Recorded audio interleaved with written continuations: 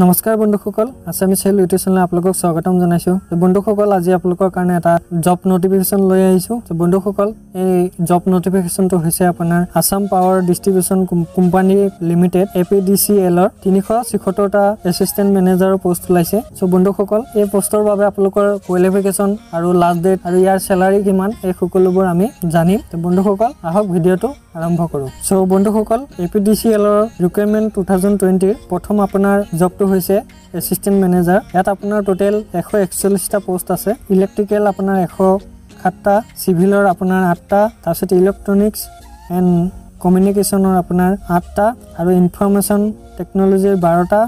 Human ৰিচৰ্চৰ আপোনাৰ পাঁচটা। তলত চাই লওঁ আৰু আপোনাৰ লট এটা। দুই নম্বৰটো আপোনাৰ আছে জুনিয়ৰ মেনেজাৰ। এটা আপোনাৰ ইলেক্ট্ৰিচিয়ানৰ হয় দুশ বিছটা আপোনাৰ তিনি নম্বৰত আছে আপোনাৰ এছিষ্টেণ্ট একাউণ্ট অফিচাৰ। ইয়াত টোটেল পষ্ট আছে আপোনাৰ পোন্ধৰটা আৰু আৰু ইয়াত আপোনাৰ এডুকেশ্যন কোৱালিফিকেশ্যন লাগিব। এছিষ্টেণ্ট মেনেজাৰৰ কাৰণে আপোনাৰ B E oblique B tech in electrical engineering oblique electrical and electronics engineer আপোনাৰ কোৱালিফিকেশ্যন লাগিব। এছিষ্টেণ্ট মেনেজাৰ আপোনাৰ চিভিলৰ আছে ফুল চিভিলত আপোনাৰ কোৱালিফিকেশ্যন কি লাগিব? আপোনাৰ B E oblique B tech in civil ইঞ্জিনিয়াৰিঙত হ'ব লাগিব। আৰু এছিষ্টেণ্ট মেনেজাৰ আপোনাৰ B E assistant manager electronics and কমিউনিকেশ্যনত আপোনাৰ লাগিব।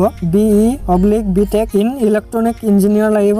তাৰপিছত অব্লিক দিয়া আছে ইলেক্ট্ৰনিক্স বা টেলি কমিউনিকেশ্যনৰ ইঞ্জিনিয়াৰ হ'ব লাগিব ইনষ্ট্ৰুমেশ্যনৰ আপোনাৰ ইঞ্জিনিয়াৰিং হ'ব লাগিব। এছিষ্টেণ্ট মেনেজাৰ আপোনাৰ ইনফৰ্মেশ্যন টেকন'লজিত লাগিব B E B tech in computer ছায়েন্সত লাগিব নহ'বা আপোনাৰ ইনফৰ্মেশ্যন টেকন'লজি লাগিব নহ'বা কম্পিউটাৰ ইঞ্জিনিয়াৰিং লাগিব নহ'বা কম্পিউটাৰ ছায়েন্স লাগিব নহ'বা কম্পিউটাৰ টেকন'লজিত লাগিব। নেক্সট আপোনাৰ এছিষ্টেণ্ট মেনেজাৰৰ হিউমেন ৰিচাৰ্চত আপোনাৰ লাগিব দুই বছৰ এম বি এ কৰিব লাগিব বা পি জি ডি এম লাগিব। P G D M degree লাগিব।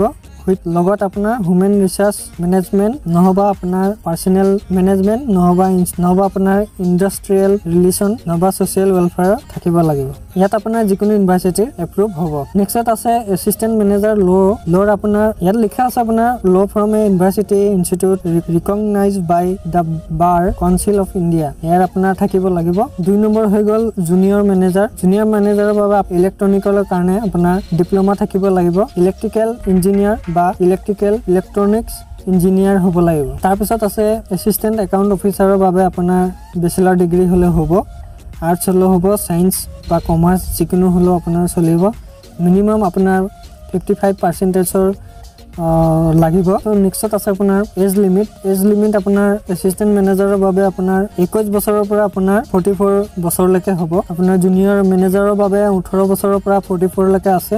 এছিষ্টেণ্ট একাউণ্ট অফিচাৰৰ বাবে আপোনাৰ একৈছ বছৰৰ পৰা ছয়চল্লিছ বছৰলৈকে আছে। আপোনাৰ অ' বি চি বা এম অ' বি চি হয় আপোনাৰ ফৰ্টি ছেভেনলৈকে পাব। আৰু যদি আপোনাৰ এছ টি এছ চি হয় তেতিয়া আপোনাৰ ফৰ্টি নাইনলৈকে পাব। নেক্সট আমাৰ ইম্পৰ্টেণ্ট হয় আপোনাৰ চেলাৰী কিমানকৈ পাব।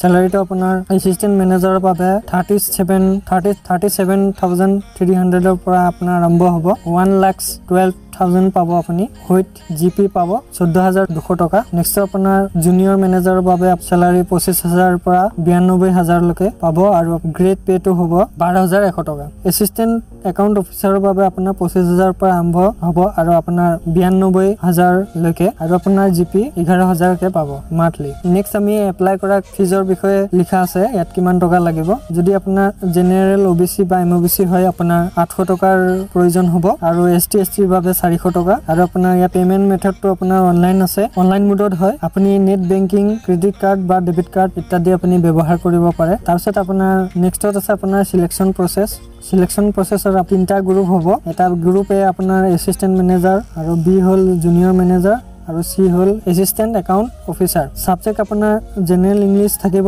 গ্ৰুপ এৰ যিটো। General aptitude and emotional emotional intelligence আৰু জেনেৰেল নলেজ তাৰপিছত আপোনাৰ কোৰ ছাবজেক্ট থাকিব। কোৰ ছাবজেক্ট ষাঠি আহিব আৰু আপোনাৰ জেনেৰেল ইংলিছ আৰু এইখিনি পৰা আপোনাৰ চল্লিছ আহিব আৰু তলত আপোনাৰ কোৰ ছাবজেক্টৰ পৰা ষাঠি মাৰ্কছ আহিব। টোটেল মাৰ্কছ হাণ্ড্ৰেড হ'ব আৰু আপোনাৰ সময় পাব এশ বিছ minute. Multiple choice type question আহিব আৰু আপোনাৰ চিলেবাছটো এভেইলেবল আছে আপোনাৰ W W dot A P D C L dot R জিত আপুনি গৈ চাই ল'ব পাৰে কেয়াৰত যাব কেয়াৰ অপশ্যনটোত গৈ। নেক্সট আপোনাৰ বি গ্ৰুপৰ যিটো আছে বি গ্ৰুপৰ আপোনাৰ ছেম একেই সোবাই লাগিব। ছেম একেই ছাবজেক্টে হয় আপোনাৰ ফৰ্টি আৰু ছিক্সটি একেই হয় চব ছেম হয়।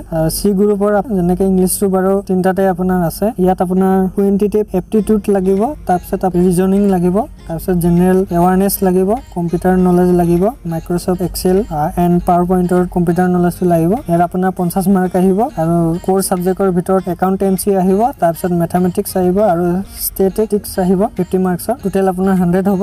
আৰু মিনিট একে সকলোখিনি একেই ছেম নেক্সটত আপোনাৰ আছে ডকুমেণ্টছ ভেৰিফিকেশ্যন আৰু ভাইভা ল'ব। ওঠৰ মাৰ্কছ থাকিব তাত। এইটো আপোনাৰ কেৱল এছিষ্টেণ্ট মেনেজাৰ এণ্ড জুনিয়ৰ মেনেজাৰৰ বাবে। আৰু তাৰ তলত আছে আপোনাৰ এছিষ্টেণ্ট একাউণ্ট অফিচাৰ আপোনাৰ ভাইভা নাথাকিব। ইয়াত আপোনাৰ ভেৰিফিকেশ্যন হ'ব। নেক্সটত আপুনি হাউ টু এপ্লাই আছে। আপুনি ক'ত গৈ এপ্লাই কৰিব। আপুনি আপুনি অফিচিয়েল ৱেবছাইটত যাব লাগিব। W W dot A P D C L dot O' R জিত গৈ আপুনি এপ্লাই কৰিব লাগিব। নেক্সট আপোনাৰ আছে ইম্পৰ্টেণ্ট ডেটছ আছে। আপোনাৰ কেতিয়াৰ পৰা ষ্টাৰ্ট হ'ব ন ডিচেম্বৰ দুহেজাৰ বিছৰ পৰা আপোনাৰ আৰম্ভ হ'ব। লাষ্ট ডেট হ'ল ওঠৰ ডিচেম্বৰ দুহেজাৰ বিছ চ' বন্ধুসকল এই জবটো যদি ইণ্টাৰেষ্টেড হয় আপোনালোকে এপ্লাই কৰিব নিশ্চয়। আৰু ভিডিঅ'টো এটা লাইক কৰি দিব আৰু আমাৰ চেনেলটো অকণমান ছাবস্ক্ৰাইব কৰি দিব। চ' বন্ধুসকল অকণমান ছাপৰ্ট কৰি দিব। চ' আজিলৈ ইমানতে কৈ বিদায় মাগিছোঁ। নমস্কাৰ।